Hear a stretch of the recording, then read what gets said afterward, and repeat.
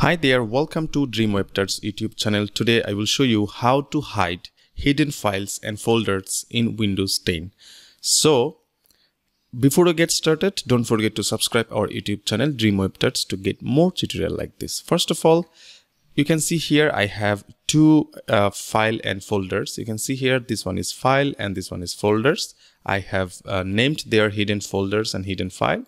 So I will now hide these hidden files and folders. So what you need to do, you need to go to uh, your search icon and write file, file explorer options. Okay. So go to file explorer options and then you, you need to uh, select view menu from here. Okay. You can see here is view menu. So select view menu and then uh, select don't show hidden files folders or drives okay? So now click apply.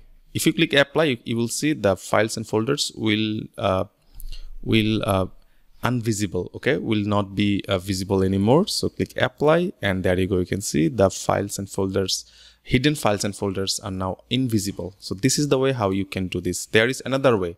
Uh, go to this pc and then uh, go to uh, any any any uh, network any drive go to any drive and then you will find properties okay?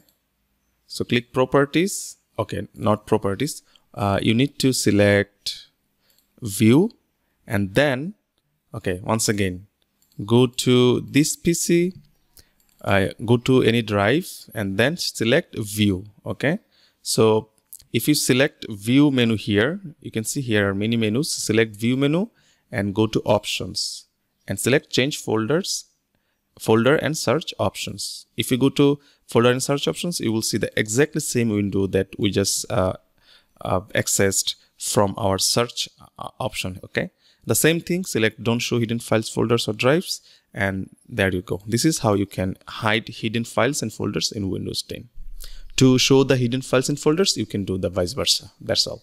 If you enjoyed if you enjoyed this video don't forget to uh, thumbs up and don't forget to comment below if you have any questions. And don't forget to subscribe our youtube channel dream web to get more tutorial like this. I will see you in another video. Have a good day. Bye